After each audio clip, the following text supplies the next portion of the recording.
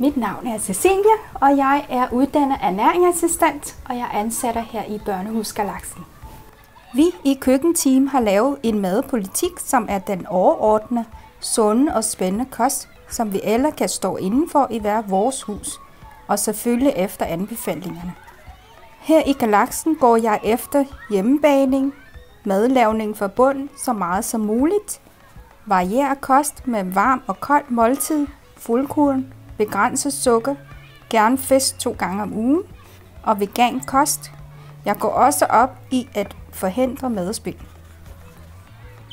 Jeg kan servere retter, som kan være nyt for børnenes smagsalt, men også retter, som de kender til. Jeg har en postkasse foran mit nye køkken, som alle børn, forældrene og de voksne i huset kan komme med ønske, ris eller ros til. Og jeg elsker at få ris og ros for børnene og deres tegning. Det er så skønt, når børnene kommer og siger tak for mad, jeg kan lide eller jeg kan ikke lide i dag. Og de voksne for stuerne er også gode til at hjælpe med at præsentere og få børnene til at smage på maden og give en tilbagemelding, hvilken som jeg sætter pris på.